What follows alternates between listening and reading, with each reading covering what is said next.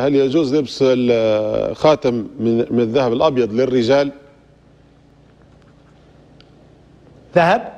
الذهب الأبيض للرجال. إيه إيه. هو هو هو اسمه فيه إن كان ذهبا فلا.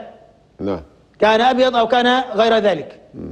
إن سمي وس- وسمي وعرف أنه ذهب فلو يعني هل يستطيع أحد الآن أن يغير لون الذهب بلون آخر؟ حتى الذهب الأصفر هذا. باين هذا لا. هو ان كان ذهبا فهو ذهب. هذا ممنوع على الرجال وجائل لل- للنساء.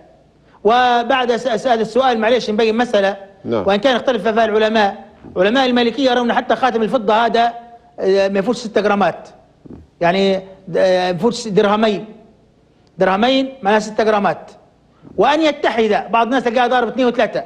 قال فقهاؤنا حتى ولو كانت أقل من الوزن فلا يعني يجوز له والمسألة يبتني عليها أمور يا إخواني. نعم. الخاتم المأدوم فيه لا يجوز لك ألا تحركه. لا في الوضوء ولا في الغسل.